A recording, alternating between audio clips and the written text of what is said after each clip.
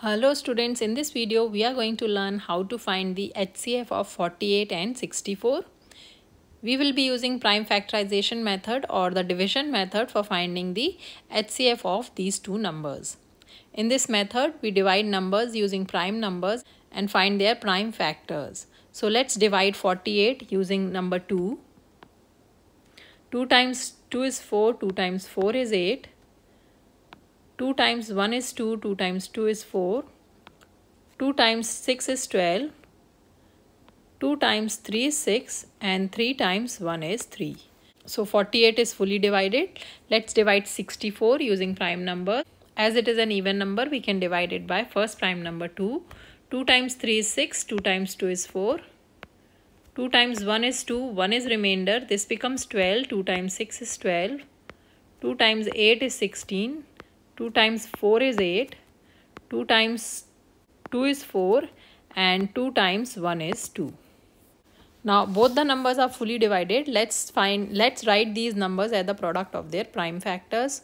So 48 can be written as 2 times 2 times 2 times 2 times 3 times 1 and 64 can be written as 2 times 2 times 2 times 2 times 2 times 2 times 1.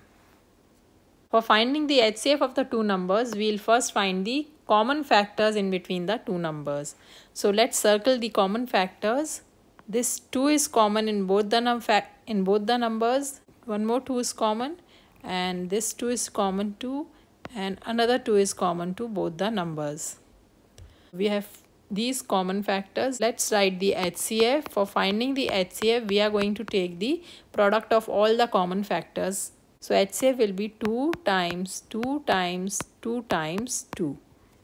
Make sure that you write the common factor only once. So HCF will be equal to 2 times 2 is 4, 4 times 2 is 8, 8 times 2 is 16. So the HCF of 48 and 64 is 16.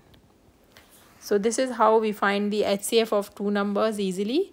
I hope this video is helpful to you. If you like the video, please hit the like button and subscribe to my channel for more math videos. Thanks for watching.